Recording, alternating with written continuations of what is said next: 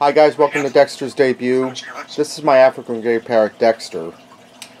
He's a Timneh Grey. Uh, most African Greys you see are Congo Greys with the bright red tail. His tail has maroon on it. And he's happy, he's just chattering away here today. I would take him out, but I haven't had him out so long he's kind of nervous and not really hand-tamed. I got to get him back into that. I've had Dexter now for 17 years. I bought him as a baby. He still had down on him. He was hatched out the egg when I got him, and I got him when he was old enough to go.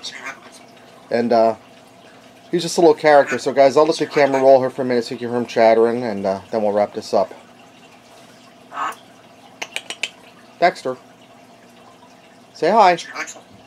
Zaki poo poo poo. Dexter.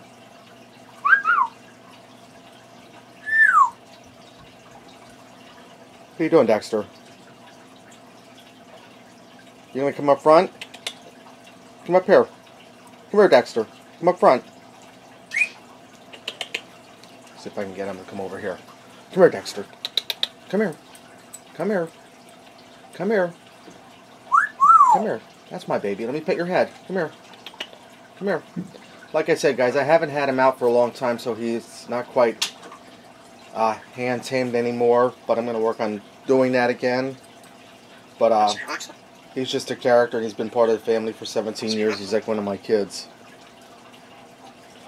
So Dexter, uh, say bye to everybody.